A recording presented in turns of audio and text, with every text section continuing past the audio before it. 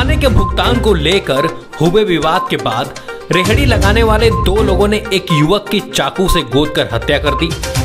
आरोपी हुआ गिरफ़्तार।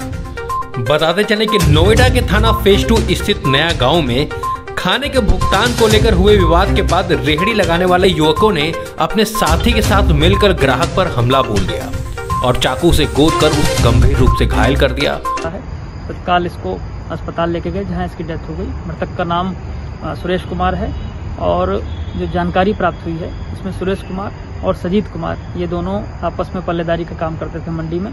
कल ये काम करके आए हैं और शाम के समय लगभग साढ़े नौ से दस बजे के आसपास ये बैठ करके इन लोगों ने शराब का सेवन किया है।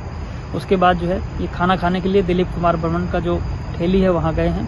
वहाँ पर इन दोनों में हॉट टॉक हुई है और पैसे के लेन देन को लेकर के दिलीप कुमार वर्मन और सजीत कुमार ने जो है वो इसको चाकू से मारा, जिसमें इसकी जो है वो दौरान इलाज, डेथ हो गई है।